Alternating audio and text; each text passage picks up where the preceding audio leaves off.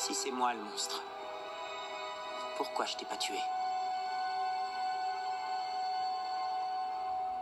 Parce que pour une raison que j'ignore ou qui m'échappe, tu as l'air de bien m'aimer.